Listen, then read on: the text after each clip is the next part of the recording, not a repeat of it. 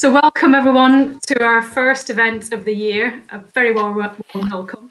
And today we'll be discussing uh, what the future looks like for the tourism industry. Uh, we've got some great uh, speakers from across the sector uh, with us today. Um, and they cover hospitality attractions, uh, culture, and they'll give an update on uh, their own, from their own point of view. And then we'll have a question and answer session. And then we'll finish off with a, an update on our Marketing Manchester's recovery campaigns. So I hope that sounds appealing. Uh, many of you have joined us. I think that's all that pent up um, interest after the new year in, in, this sector. So please do add any questions to the chat box throughout the session. We'll try and pick them up.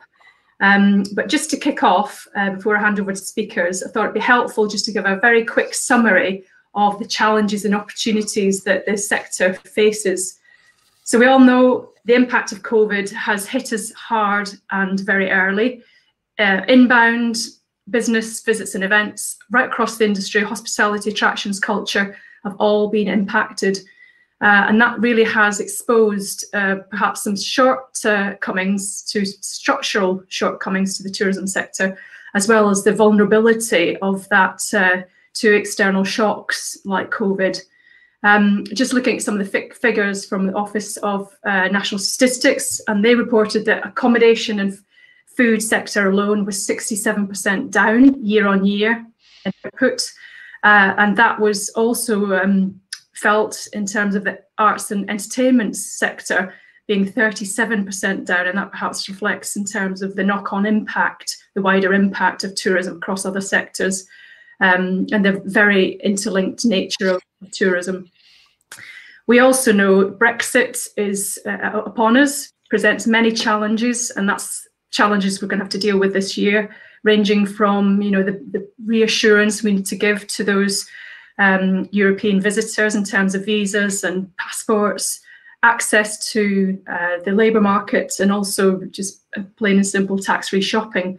So many challenges there. However, um, do feel that there's opportunities now for the sector going forward. And I think this is an opportunity, like any crisis or challenge, has an opportunity to move forward towards perhaps more of a resilient, um, sustainable model of for our, our, sector, hopefully a greener and fairer sector, and um, returning to obviously a prosperous and thriving sector too. Uh, so it was great to hear yesterday the tourism minister speaking to the nine mayors across the country um, and saying is quite optimistic actually, saying that the um, optimistic about a bounce back, optimistic about a, a, the pent up demand. Uh, saying firstly that the tourism sector deal that they described last year was not fit for purpose anymore, but they're working uh, on a current tourism recovery plan. Um, and also to say that really positively that expecting a strong bounce back to uh, to occur because of the uh, pent up demand. So perhaps on that positive note, I'm going to hand over to to Nick, Nick Brooke-Sykes, our fabulous tourism director, who will speakers and facilitate the Q and A session. Over to you, Nick.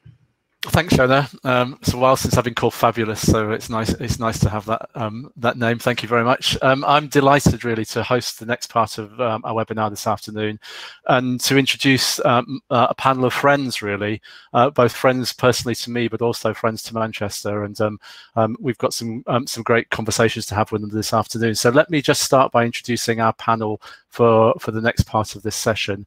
Uh, firstly, uh, Kate Nicholls is the Chief Executive Officer at UK Hospitality. Um, she knows no, she needs no introduction, I'm sure, to, to many of us on this call this afternoon. Uh, she's lobbied um, relentlessly uh, over the last um, nine, ten months um, for the sector and, and been at um, government table uh, um, more often than at a breakfast table, I'm sure, in terms of having uh, conversations with ministers and putting on um, putting them very squarely in in, um, in, the picture as to what's going on on the ground. second, we've got Bernard Donoghue. Uh, Donna, uh, Bernard's uh, the ex-chair of uh, Visit Manchester, so um, knows Manchester very well. Um, also um, sits on the panel, uh, the trustees of the People's History Museum. So uh, again, knows Manchester really well. Um, he's currently the director of ALVA, the Association of Leading Visitor Attractions. Um, having previously worked at Visit Britain. And then, uh, uh, no stranger to any of us, Dave Moutrey, our own uh, Director of uh, Culture for Manchester City Council, but also the Chief Executive of Home, um, um, the highly successful um, arts complex um, in, um, in Manchester, having moved from the Corner House and been involved in the city's cultural life for as long as I've been involved in tourism, Dave. So a, a long time now uh, between us, really. So welcome all three of you this afternoon.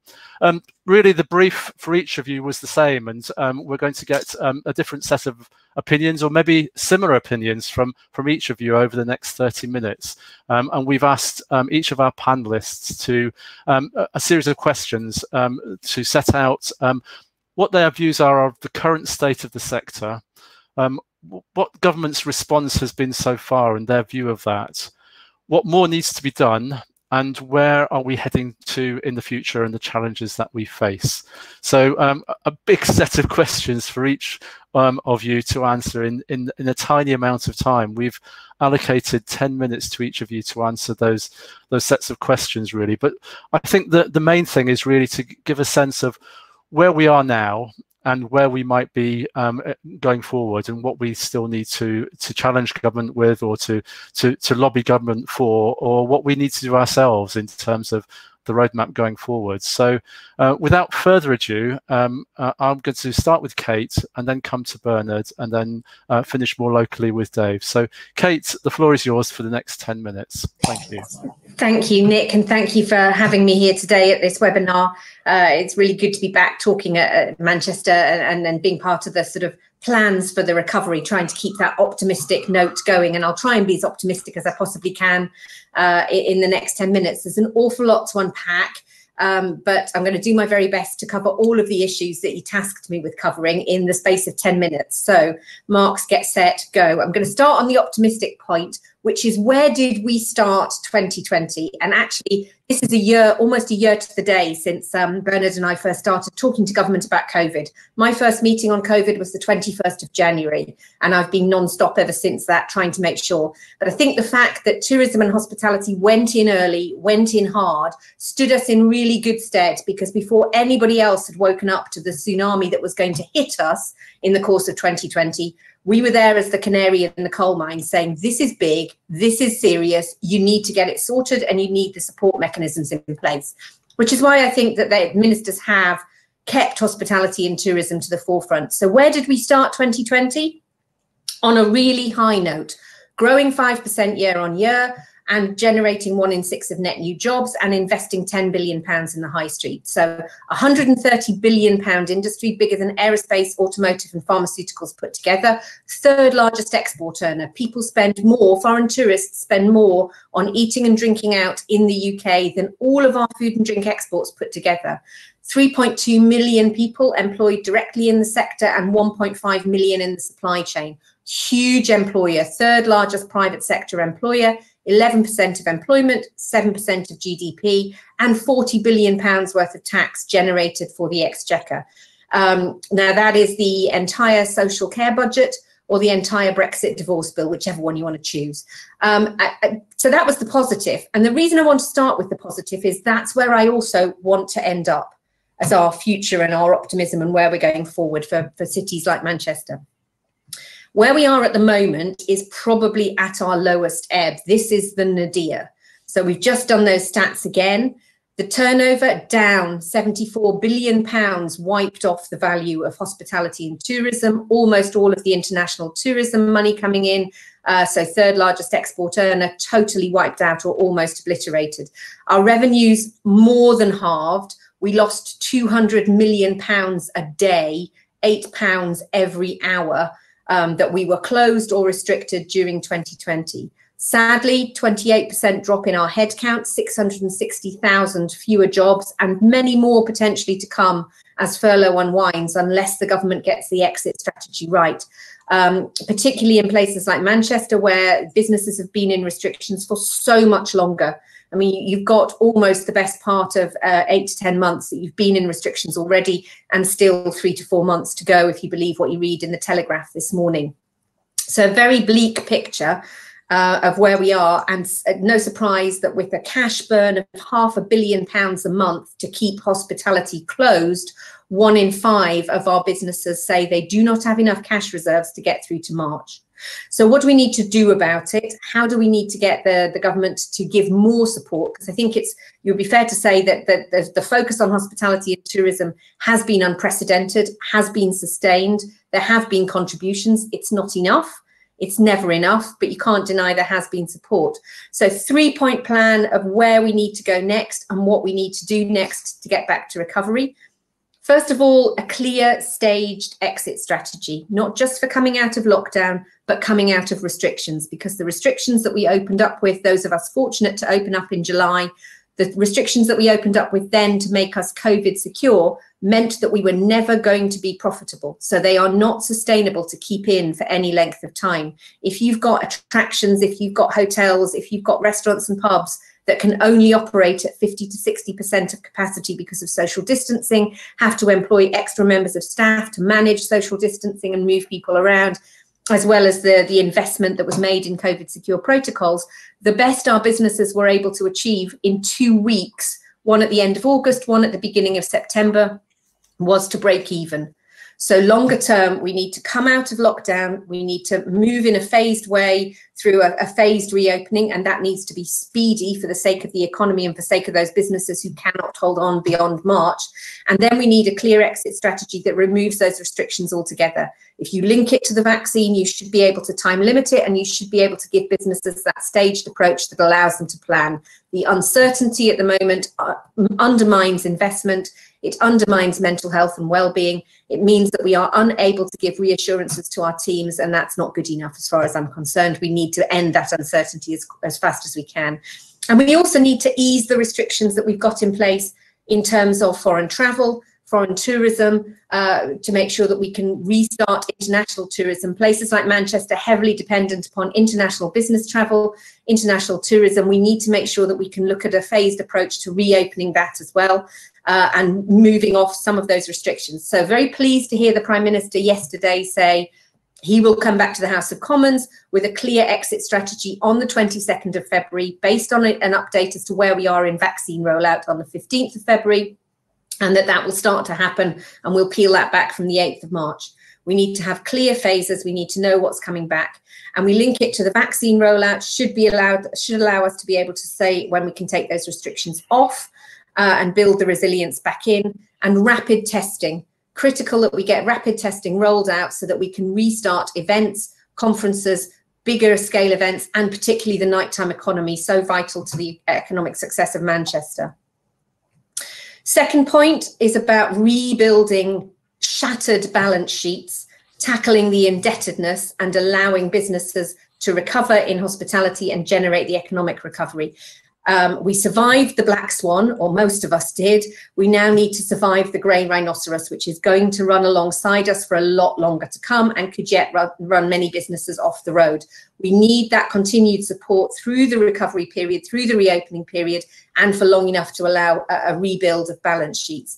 Uh, we talked about the, the possibility of a, a rapid bounce back, the tourism minister being confident that we can bounce back quickly those two things will hit us if we can't. You know, the fact that you've got businesses that are at very low resilience in hospitality and tourism, if you don't have those businesses surviving in the short term, you're not going to bounce back quickly.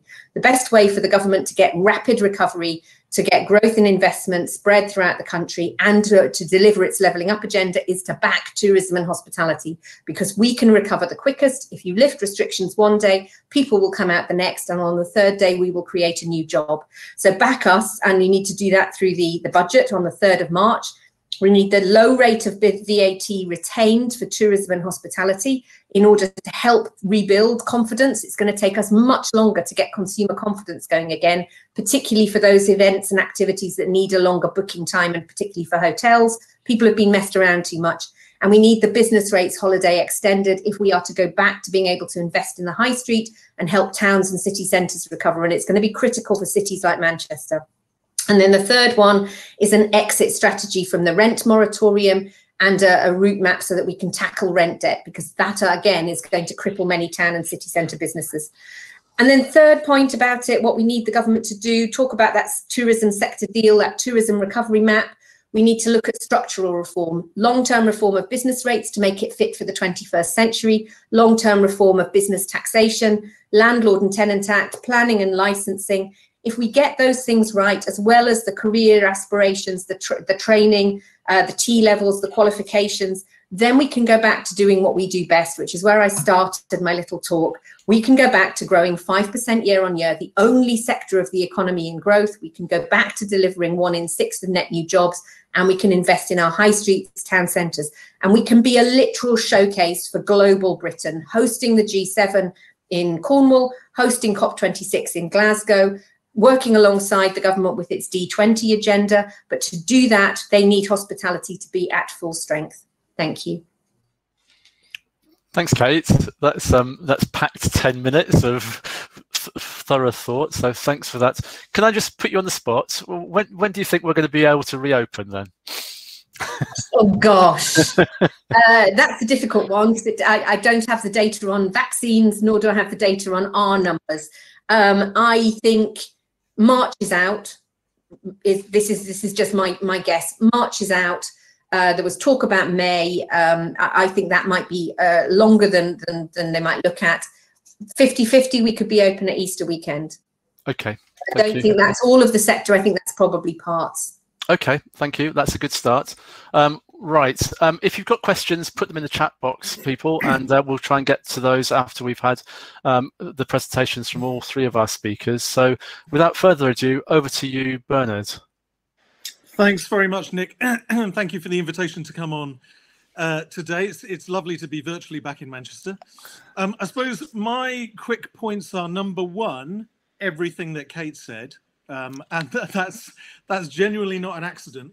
Um, one of the things that has been absolutely fantastic this year is how all of the diverse elements of our visitor economy have shared the same script, shared the same data, asked for the same things, and I'm absolutely of the view that our coherence and our common agenda has made all the difference in talking to government ministers and winning the significant amounts of both policy and financial support that we have. Uh, I suppose the second point is um, data and intelligence and insights. These are not sexy words, but I know that when I was chairing Visit Manchester, actually, we wouldn't have got anywhere with Visit Manchester and Marketing Manchester's members. We're talking to the City Council. We're talking to all of the boroughs. If we didn't have really good evidence and data about how big the Manchester visitor economy was, how important it was culturally, socially, economically, and in terms of well-being. So uh, having data about the economic impact of the last year is crucial to arm ourselves to have more assertive and better and more productive conversations with ministers. Um, in terms of, um, I'm, I'm going to I'm going to go from hindsight to foresight, and my hindsight is, is an optimistic one, um, and it comes back to the very origins of the Tourism Alliance. The Tourism Alliance was created 20 years ago next month, and the reason being is that on the 19th of February, 20 years ago, it was the first case of foot and mouth disease in the UK. First case of foot and mouth disease since 1967. And as you know, I mean, all four of us were kind of around at the time. Uh, it decimated the agricultural industry and the farming industry, but it decimated tourism more. And the UK lost 8 billion pounds that year in lost revenues, the vast majority coming from tourism, hospitality, and attractions. Our inbound visitors numbers went off a cliff. Our domestic visitor numbers went off a cliff, and it took us a lot of time and a lot of government support to recover well and recover better. 20 years on, it's a different scenario, but we can learn lots of lessons. So 20 years ago, we, we created the Tourism Alliance in order to have a coherent voice to speak to local authorities, regional government, and central government, uh, and that's proved to be very, very successful. But we were also very, very clear in what we wanted of government to repair our balance sheets, to boost consumer confidence, so they felt able then, and they will feel, feel able now, to come back to our bars and restaurants, our hotels and visitor attractions. So I think our asks of government based on that are relatively straightforward and, and from my point of view, kind of inarguable. The first is that we have only, as a sector, been able to benefit from one bank holiday in the whole of the last year. Now, that means that we haven't had the opportunity to really repair our balance sheets and have a, a real opportunity to launch ourselves again uh, as an economically viable sector. Therefore, we absolutely need to open for the Easter weekend in order to revitalize the UK, the traditional start of the UK tourism industry. Second, uh, attractions absolutely need to reopen at the same time as non essential retail. Uh, we've absolutely proved in the attraction sector, thanks to the diligence of Public Health England's data, that there hasn't been any uh, transmission, any case of transmission of coronavirus at a visitor attraction in the UK over the last year, not from staff to visitor or visitor to visitor or visitor to staff or such that they're statistically negligible. So we proved that attractions are COVID safe thanks to the really hard work and diligence of front of house staff, training, ops, cleaning, security, etc., etc. So it was madness that when the Trafford Centre reopened, the only three stores in the Trafford Centre that couldn't reopen were visitor attractions, like the Legoland Discovery Centre frankly, if you can open H&M, you can open the V&A. If you can open H&M, you can open MOSI. Uh, it, it, it, it's just as easy as that. So we want to have visitor attractions on the same playing field as the rest of the non-essential retail sector. And therefore, Kate's points about VAT and business rates, extending those really crucial fiscal supports are absolutely, uh, absolutely crucial. Um, the reduced rate of VAT, which many of us have been working on to get for years and years and years, we used to have the second highest rate of VAT on accommodation and attractions in Europe. That reduction down from 20% to 5% has been crucial in kickstarting uh, visitor attractions, hospitality, and accommodation to try and get back some of their cash and to repair their balance sheets. But frankly, we haven't been open long enough to really benefit from it. And we're due at the moment for that 5% to go back up to 20% on the 1st of April. Now, that's significant because the 1st of April is the day before Good Friday. It's the day before the start of Easter. We do not want to be in a position where um, one of our most important industries is putting their prices up 15% on the day before Easter start. That's crazy. It's bad PR for the government as well, but it's also economically disastrous for our sector. And from a, a, cultural and visitor attractions point of view, what have we learned this year that can make us optimistic? Uh, well, the first is that when visitor attractions were open, were able to reopen, people flocked back. They flocked back to reduce capacity, but they flocked back. Why? Because visitor attractions, museums and galleries, places like John Rylands and the Imperial War Museum North, uh, Manchester Art Gallery, the, um, and uh, People's History Museum, of which I'm a trustee. These are genuinely important places for people. They're culturally important, they're economically important, they're socially important, but they're also, and forgive me for getting a bit romantic about this, they're also the backdrops for people's happiest memories. They're good for mental health and well being. And we know that people have responded to the reopening of visitor attractions really, really positively. And it's meant that we have to do things in different ways. I think we need to recover better. It would be wrong if the cultural sector just reopened their doors to exactly the same kind of people that they closed them to last March. That means we've learned nothing. I think the confluence of COVID and Black Lives Matters has challenged all of us to tell stories about who we are where we come from and what we value in different, authentic, and critically honest ways. And I think, frankly, that's a particular challenge to the original modern city of Manchester about being creative in that storytelling. Um, and then I think um, one of the last is that we've seen an explosion of creativity in the in the cultural and attractions sector. That whilst many of our attractions and, and cultural buildings and cultural organisations have been physically closed, they've been digitally open. They've been virtually open 24 hours a day to the world. And we've seen an explosion of creativity in exciting and enticing and telling the stories of their people and places and collections in really new and innovative ways. And that's often meant that new audiences are coming through the door because they feel confident to do so, because they've snacked the attraction online.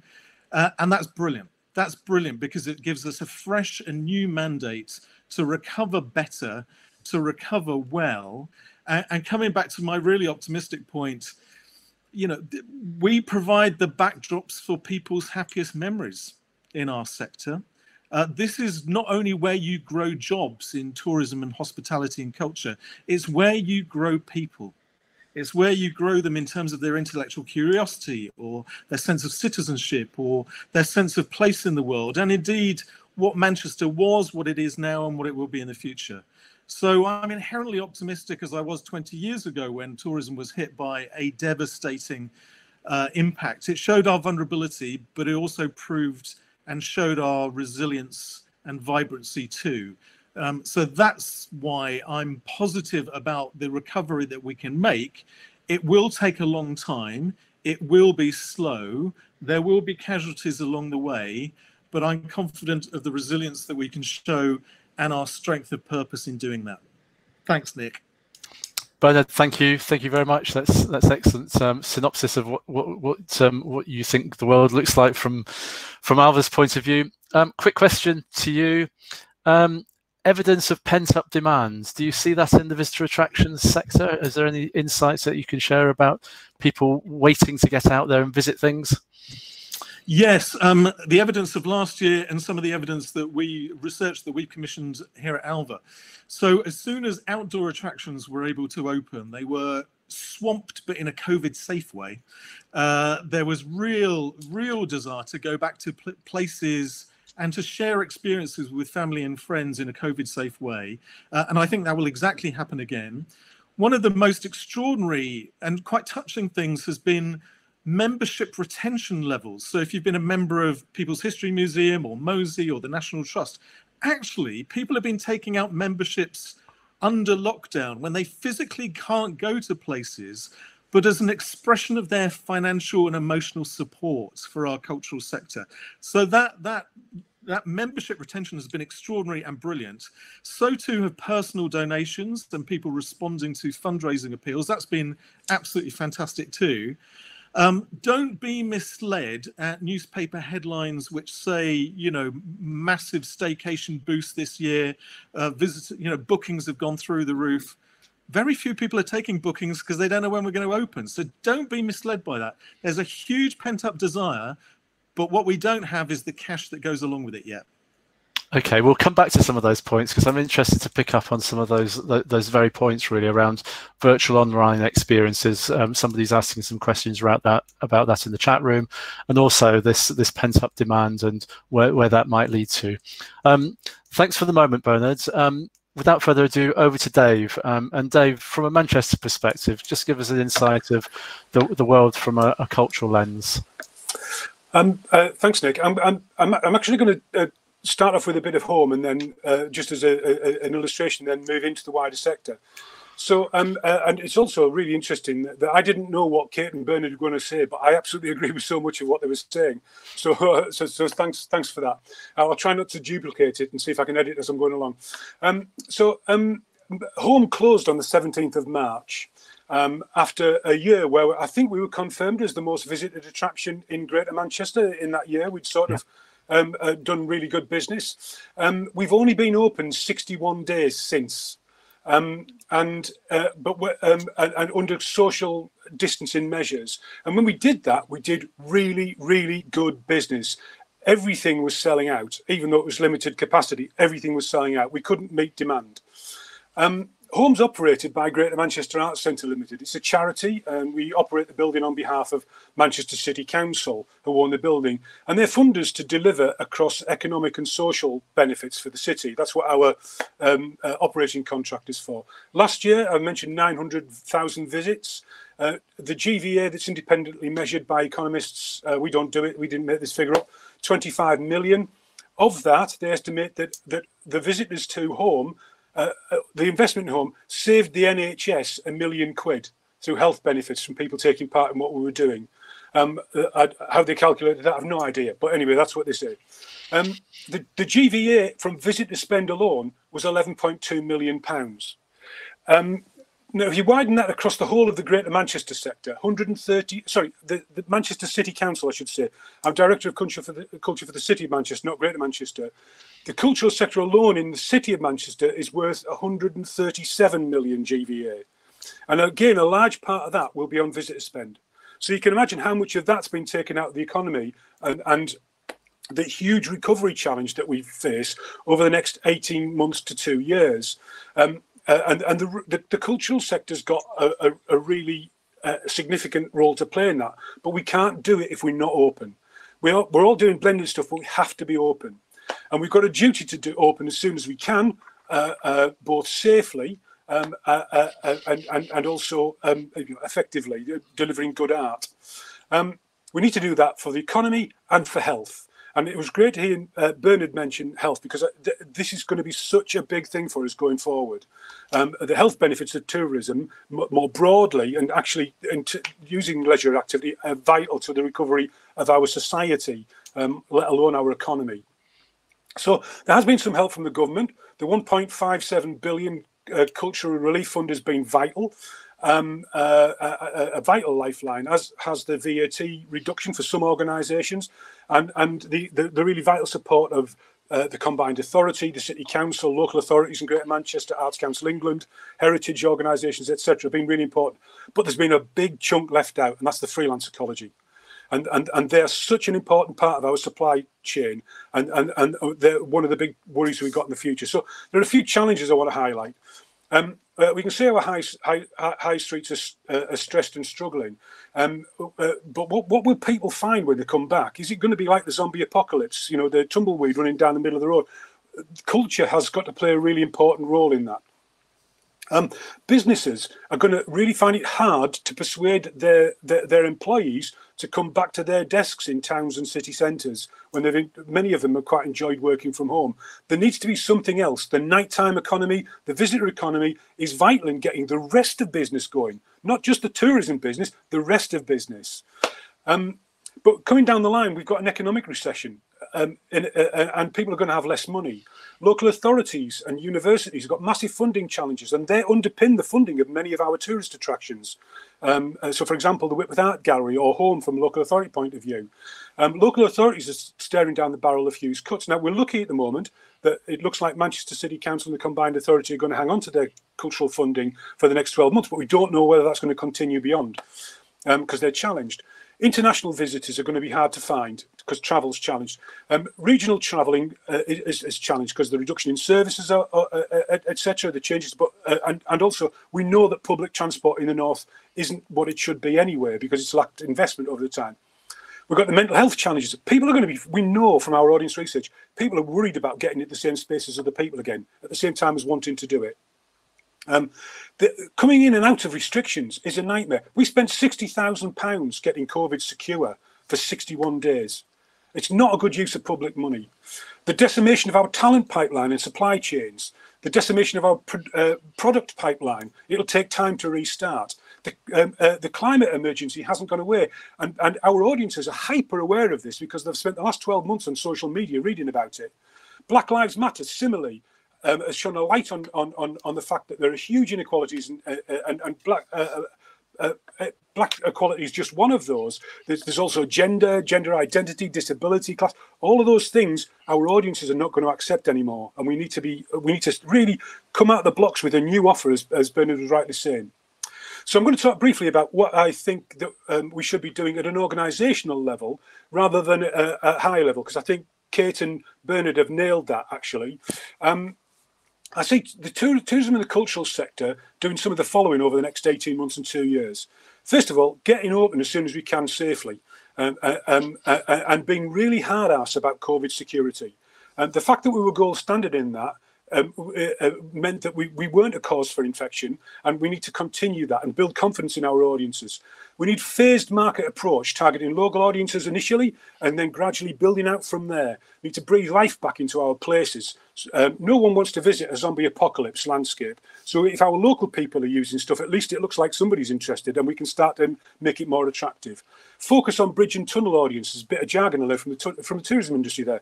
Um, um, uh, that, that, whole visiting fam, uh, uh, family and relatives, uh, uh, you know, build build from local, build outwards.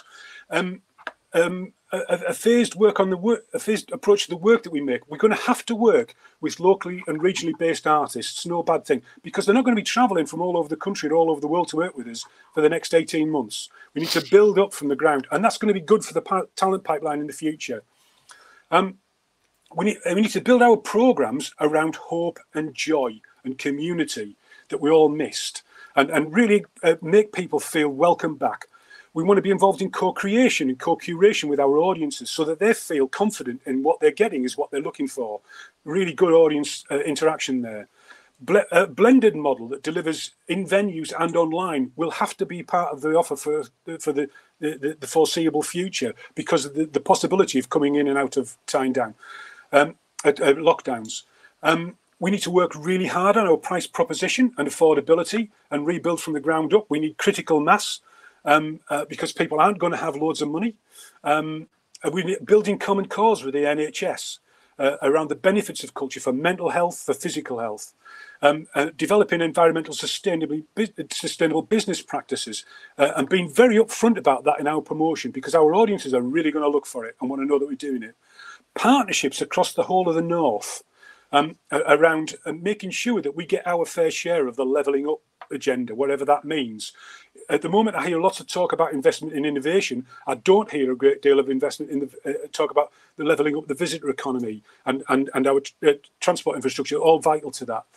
Um, and finally, um, creating and presenting fantastic work that celebrates the, the wonderful diversity of our city region. That is going to be the biggest draw for everybody, making great work. Um, I think I've just about managed my time, but uh, hopefully that's it. Thanks, Dave. You, are you're bang on time, actually. 1537 is exactly bang on time. So well done. Thank you very much. Um, quick question from um, from the chat box from Sarah. Do we envisage cultural recovery round three, uh, fund round three? Is that being talked about of the cultural sector at the moment? Um, I'm, I'm, hearing rumours, but unsubstantiated. Um, Nick uh, Bernard's nodding. He must probably um, more plumbed into that than I am. Um, I, I, am hearing um, uh, uh, stories about it, but I think that it, it, what's clear is that we've got cultural recovery strategy, um, uh, uh, cultural recovery funding that, that is currently being applied for for April, May, and June. Uh, and, and then a lot of rent holidays finish and all that sort of stuff finishes then. And all of a sudden, we've got to magic up full business to be able to pay for all those expenses. Well, there's another cliff edge at the end of June.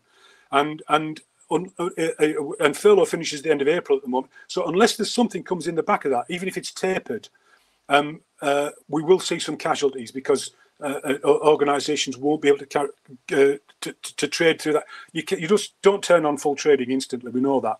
So I hope there is yeah. Okay. Thank you. And Kate, that's that's certainly something that UK hospitality have been looking for is is this tapering off of the support measures that are in place at the moment, rather than the cessation of those at the end of April. Yes, I mean I think you've you've got multiple cliff edges. So at the end of thirty first of March, you've got VAT comes to an end. I mean VAT cuts are no benefit if you're closed.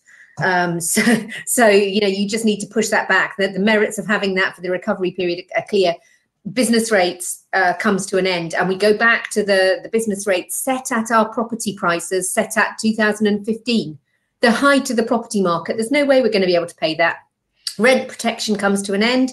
People are going to have to pay a year's worth of debt of rent debt in one go. And then you've got 31st of April, you've got furlough coming to an end.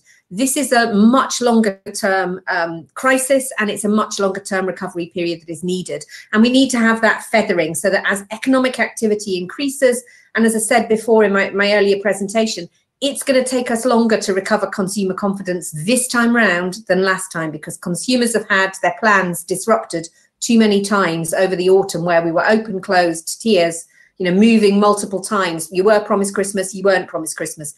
People are going to be reluctant to commit and book. So it's going to take time. So you need that that feathering of support. So the the staycation boom, from your perspective and from people you're talking to, is that something that's real or something that's media? Um, I, I, I think it's media to be honest, at the moment. We can't take bookings. We don't know whether we're going to be open. You're not allowed to take bookings for the short term. Um, there is some residual business on the books, and people are inquiring about summer, but nobody's putting deposits down and nobody's backing it with cash. So to me, this is going around the car showroom and saying, I'm really interested in going out for a test drive of the latest Jaguar. That does not mean I've bought a Jaguar. you know that that's where i think we are at. Um, and consumers are, are, are reluctant. I think there will be a lot of demand um, and i think that people are looking at it but but it, it's too soon to be able to book. And certainly for a lot of our businesses that are going to be hardest hit and i you know manchester city centre hotels are going to be one of those that are hardest hit. It's not your first choice when you're looking at replacing your summer break to spain. You would tend to go to, to leisure you tend to go to the coast so, so no, we're not seeing it translating through into bookings and business on the books. You would normally have an awful lot of that taking place and the bookings happening the first two weeks after Christmas. That's not happened. No, thank you, thank you. Um, there was a question in the chat room about business visits and events and the sort of roadmap for opening those back up. Do, does anybody have a, a, view on when that might happen or what what what needs to be in place? We've not had any announcement very recently on business visits and events at all. No, I mean we did have before Christmas. I mean that was the first time we'd we'd seen that there was a, a move towards reopening bigger events, conferences, functions, and then within two weeks it was closed down again. So so we did have that date. These have a long lead time. If you're planning a major conference or event, you need to know now that you can book with confidence for the for the autumn. So I think that the the more we have uncertainty, the longer the lead time is for the recovery in that business. It doesn't pick up very quickly. I think people are going to be more discerning about the type of events they do, uh, and therefore cities like Manchester are better placed to capitalise on the recovery because what, if you're going to spend a couple of days and you're going to commit to being in a face-to-face meeting at a business event, where would you rather go? Somewhere that's got the cultural life and the activity, or, or somewhere that's a sort of you know uh, a, an airport hotel or a, a, conference center that's got no soul or, or is, is in the middle of the countryside. So, so I do think that, there needs to be a plan, but but hopefully we can have that restart uh, and start to rebuild. But it's going to need planning, as is city centre recovery. It is going to need planning. Manchester and London are not going to recover on their own. Birmingham too. Um, it's going to need a concerted action plan, and I do think you're going to need some kind of cities fund to be able to repair some of these businesses. If you look at the, the grants, they are totally inadequate for, for dispersal to, to a city where you've got um, a small proportion of residential and a large proportion of businesses that are severely affected. All of those city centres are going to be hollowed out if we're not careful and get support there. Thank you. And presumably, Dave, um, it's the same for the cultural sector in terms of lead-in times for programming and, and planning in in work. Yeah, I mean uh, that that um, most of us think it's unlikely we'll be open before May for even for was it level four protocols, which are socially distanced. Um, the, the, likelihood is being able to move to level five protocols, which are people sitting next to each other in a space, possibly the autumn. Uh, some people are saying September, some people are saying November, as late as November. Um, uh, but also with the likelihood that, there's a chance that we might get a, a short-term local lockdown or changing tiers or whatever, depending on what's happened with the vaccine. So there's a lot of uncertainty around, and and and the, the biggest problem is the capitalisation of things like theatre shows or exhibitions. That you know, that you, you you've got a big upfront expenditure before you can open the doors. Um, is it, it, means that it you know that uncertainty needs to be steadied down. Everybody at the moment is looking towards what the chan- uh, what um, the prime minister is going to say on the 22nd of February, and and, and are just holding back a little bit before we we move. And uh, you know the there is some talk, however, um, in a number of places about about outdoor venues and, and outdoor work in um, in May, June, July, um, uh, uh, in order to try and um, fi- you know find a foothold in, into as much as anything, encouraging people to re-socialise with the public realm, yeah. Um, uh, in, in order to come out and, and, and think about coming out if that's doable. But the 22nd of February is going to be vital in that. Okay. Um, I'm afraid we'll run out of time, and I'm, I'm, I'm very bad at answering all the questions or asking all the questions that have come into the chat room. So for people that have asked questions and put them in the chat room, we'll we'll take those offline and, and respond to those in the follow-up notes. Um, it, it, remains for me to say thank you to each of our speakers. Thank you for taking the time to join us this afternoon, Kate, Bernard, Dave. Um, thank you for, for, for your insights. Um, what's clear really is that um, we're, we're saying the same things in lots of different forums, which is good. Um, and that joined up approach that both Kate and, and, and Bernard mentioned is it seems to be working in terms of uh, getting the messages home to government. So um, that that spirit of collaboration really is working in this time of crisis, really. But um, thanks each of you for for taking part this afternoon. And with that, I'll hand back to, um, I'm handing over to Victoria now, who's going to talk about um, the recovery plan for Manchester and um, so answering some of the questions that were in the chat room about um, how we're addressing the concerns of perceptions and consumer confidence. So Victoria, over to you.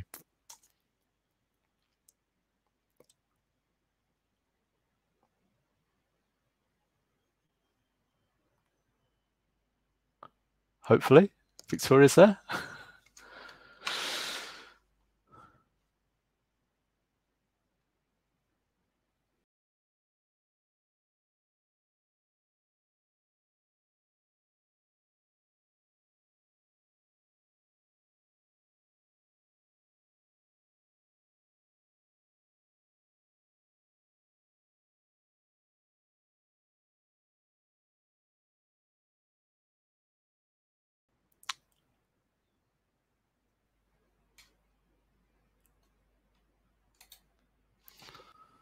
Victoria, if you can hear me, we obviously can't hear you, so I can talk through your slides if you can move them. Great, it works. So sorry about that, folks. Uh, we've got a great suite of recovery campaigns uh, to roll out. We've been trying to do that for the last, what, six or seven months, uh, bit, uh, stop and start. So many of you have, will have seen some of these campaigns already. We started back way back in March with a virtual campaign, and I noticed that some of the people in the Q and A were um, asking about virtual content. So if you have a look at Marketing Manchester website, visit Manchester website, you'll see a, a great uh, plethora of cultural education um, content. So we started that just for a couple of months. We've now ended back up with that, um, the virtual campaign, just to keep things going and to keep uh, some awareness about Manchester there. Um, secondly, we had a suite of Find Your Space uh, campaigns. So Find Your Space was all about if you were on your own or in a group of six, whatever the, the tier was at the time, you could enjoy the outdoors or find your own space. Uh, a bit about mental health and headspace too. Uh, we ran a super campaign um, with the universities, the three universities, to try to mitigate any of the um, students deferring their places last year, and that was really successful. And Space to Meet campaign is our campaign for the business visits and events sector. And we haven't managed to launch that yet. So as soon as we get a roadmap for that, we'll be on it. The other two campaigns we've got on the wings um, are Have a Night on Us and this one's on us. So this is all about accommodation and food and drink incentive campaigns to get uh, people back in when the time is right. And then finally, we're working with the bid uh, with all of the retailers on a city centre campaign, and that's been going on and off for, for Shona, I don't know if you can hear me now. My camera wasn't working. Can you that's hear me great. now? Handing over to you, Victoria. Sorry about that. These things happen. Sorry, Lucy helped me out with some technical issues. Um, so just to take over from where Shona uh, left off. So um, we're working on a number of different campaigns. So just to reassure everybody that we've been we've been working on things that we can roll out as soon as we get the go ahead. So we've got quite a few tactical campaigns that we've got ready to go as soon as we're given the go ahead. So if we talk about the Have a Night on Us campaign, we started to work on this in September, um, ready to roll out during the autumn, but obviously with the tier system, we weren't able to get this one going. However, we've done a lot of the background work to enable us to get this one ready for rollout as soon as we begin to uh, move down the tier system again. So this is basically looking at targeting people from within about three hour drive time and giving them extra added value by giving them an extra night in Manchester. So for instance, if they book two nights, they get a night free. And this will be powered by um, TXGB, which is Visit Um, bookable system. Um, so this this will help us to be able to send out tactical offers. We just heard Dave talking about how we actually incentivize people to come out of their house and actually start to re-engage with le leisure activities. So this will be the um, short breaks element of what we want to do. And then if we look at another tactical offer, the This One's on Us campaign is to add value to the um, the short breaks messaging and also to engage with those crucial local audiences that will engage in the uh, visitor economy hospitality by adding added value that they can actually um, get something additional. So tactical offers in the short term that we can help to to drive footfall back into the city centre. Um, so we don't know when we'll be, be going live with this activity, but we're, we're hoping optimistically if we might be able to get out of the door in March, but back to Kate's, Kate's point, it's more likely that we might be able to do something around the Easter weekend. So as soon as we, we can go, we'll be good to go with both of those offer-led campaigns. Um, I also wanted to talk to you about some of our business campaigns because we know how crucial engaging the visitor economy and driving business back in, but also making sure that we're also engaging the business um, side of, of the economy to make sure that we're making the most opportunity about re-engaging with corporate travelers and getting corporate business in. So I wanted to also tell you about some of the work that we're doing at Marketing Manchester with our partners Midas to um, to look at delivering sector activity.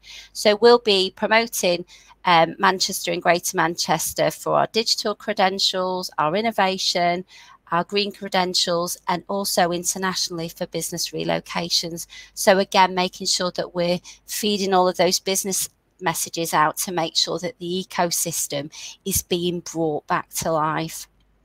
And then we, we talked earlier about return to the office, and we know that this is going to be really challenging because people are, are quite happy to be working in uh, from home from a lot of instances, and businesses have proved the model. So we want to be delivering campaign activity that helps to get workers back into the city centre and our regional town centres to make sure that they they are driving the economy. We know that we need the footfall from commuters, and also we we need to make sure that they're taking advantage of the visitor economy what, during their breaks and before and after work. So with this campaign, we want to make sure that we're supporting employers to get their workforce back into, into their offices and also to promote the benefits of the workplace and not just coming to work. It's all of those things that you do around work. It's collaboration, it's visiting the art gallery at lunchtime, it's catching a movie afterwards. So we want to make sure that we're driving footfall firmly with health and well-being at the heart of what we're doing making sure that people are confident to start first of all traveling back into city centres and then also eh, beginning to enjoy leisure activities and then uh, the final slide is an overview, really. It's a bit of a guessing game at the moment as to when we'll be able to deliver this activity. But we've been looking at how we can roll out our campaigns and, and at which point we can actually do that. So our Manchester Misses You campaign is the one that's live at the moment and will run throughout lockdown. We had 2 million visits engaging with our digital content um, during the first lockdown. And already in January, we've had 200,000 visitors engaging with that content. That will continue. And then as we work our way down the tier system, we'll be able to do more and more around visits um, and, and meetings. And then the sector campaigns, with business being live throughout this period, will continue to deliver that throughout. So I hope that gives you a brief overview and, and helps to reassure you that when we're when we can go, Marketing Manchester are ready to go and we'll be driving this activity out on your behalf. Any questions from anybody?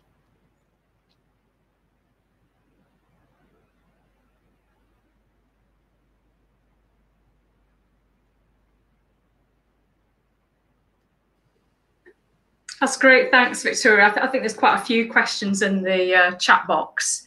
But I think uh, Victoria's just demonstrated that we, Marketing Manchester, we are ready. We're ready for whatever happens in terms of lock, coming out of lockdown and going through the tiers uh, back into recovery. Um, and I just wanted to reflect on that um, and also on the key messages that have come out from our speakers today in terms of the strong messages uh, that are echoed across everyone who's talked in the last uh, 50 minutes about the recovery and the strong messages that we should be putting back to government. Uh, one is uh, to back tourism and hospitality as a sector because it's a progressive sector and it will accelerate the UK's recovery. Two, we must help repair the negative perceptions, particularly in those international markets, the key markets that currently hold the UK in not very good light because of the COVID situation. And three, we need a clear exit strategy. And I particularly like the idea of a cities fund that Kate mentioned before. I think there's three really strong messages. If we can all take that back and lobby uh, and into our government and pol political networks, that would that would really help, particularly before the, the, the budget. Um, so it just brings to me to say thank you very much again to all our speakers. Um, thank you again for you for attending and for your support throughout last year and uh, continued support going forward. Um, and I'd just like, if you could please, there's a poll, um, there's a couple of questions in the poll, just to give us some feedback, only two questions, take you just a couple of minutes. And really to say um, the next event coming up is next week. It's the investment summit uh, on the 2nd of February. And if you can attend that, we'll pop some details in um, to follow up here. It is here. It's a London Real Estate Forum. It's uh, called People, Place, Prosperity. And it's next uh, Tuesday at two o'clock. So please uh, tune in for that. And it just remains to say then, thank you again for your continued support. Looking forward to work with you on this great recovery. And I'm confident that we can survive the great rhinoceros, as Kate said, to build back uh, to a growth sector again. So thanks again for joining us and uh, please take care and stay safe.